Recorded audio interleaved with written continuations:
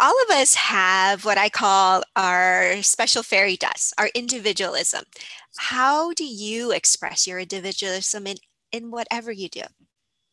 This is a really good question because I used to be terrible at this, like awful. I, I was really bad at showing up as I am.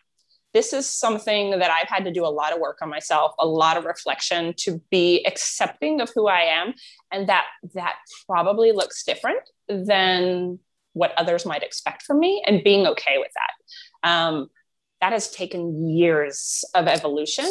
So now everything I do, like my business, like I mentioned, is online on social media. Everything I write is written the way I speak. Um, when I reach out to customers, when I talk to my team members, it's exactly in the way that I speak. It's not scripted, it's not glossed over and filtered down. This is who I am. Online and offline, I'm the exact same person. Mm-hmm. Um, and I've also learned to only say yes to things that are a hell yes. if it's not all in yes, then it's right. a no. Mm-hmm. And that's learning to say no um, has been a challenge, but it has made life so much sweeter and so much better. Um, and then the other part was the photos that you mentioned. I'm so glad you touched on that because the photos that I take are of my life, are mm-hmm. of my family, in my family. They're not curated. I'm not saying, hey, let's go do this and take these photo shoot photos. They're actually happening in my life and they're from the viewpoint even down to the colors I use in editing of how I see the world. Mm-hmm. So there isn't a difference. You can't untangle me from my work at this point. That's beautiful. Well, you're doing a fabulous job because it is. You, it's it is Thank as you. I t- mentioned earlier. Feels like we're there with you when when those pictures in. It's lovely. So, so I touched on higher purpose, and again, higher purpose is that meaningful reason to live, and that money is not part of the equation. Do you believe it's important to have a higher purpose to have a successful career? then I'll ask a couple of questions after that. Yeah, absolutely. Uh, I believe everybody has a higher purpose. Mm-hmm. Uh, for a long time, I believed that it was tied to my career. Now I believe that it's much bigger than that.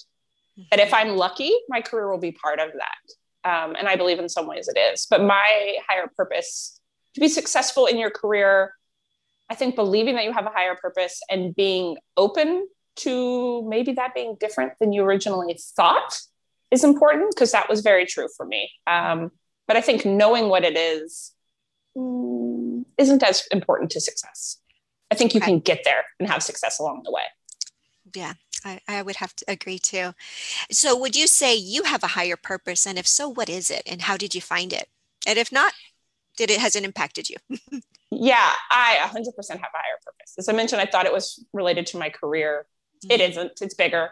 Um, I 100% believe that my higher purpose is doing the work on myself from the inside out um, and healing generational hurts and generational patterns mm-hmm. um, and healing that within myself and my own family and seeing the impact that that has on my family of five and even for generations to come. Right right. And and that's probably it's going to impact positive the way that your children grow up and understand better for themselves. And so you're developing these foundations for them. Yeah absolutely right so what are some inner blocks that negative talk that comes to uh, to all of us um, that hold you or has held you back yeah that's a really good one um, i would say the primary one is that my value and my worth are tied to my ability to do things for usually do all things for all people. Um, and that just spreads me too thin. It really does. And it doesn't allow me to use my purpose and my power in a, in a focused way. Um, and that has helped me back. It's something I'm actively working on on a day to day life. Mm-hmm. Um, and as I learn, as I mentioned, as I learn to say no to things, the yeses get bigger and brighter and so much more beautiful. I love that. And, and part of you earlier when we were talking, you mentioned knowing your worth. So at one point, was that something that you had inner talk about that and that you had to also work through? Yeah, a hundred percent. Um, you follow me on social media, so you know that I'm very open about the fact that I'm in counseling and I'm very open about mental health and things that have to do with that because I believe there's a giant stigma around that. um, a lot of that work has come from being in counseling consistently for a long time.